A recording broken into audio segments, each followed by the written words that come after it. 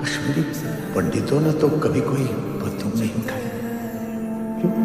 जुदा हुए कदम जिन्होंने ली थी ये कसम, मिलके चलेंगे हरदम अब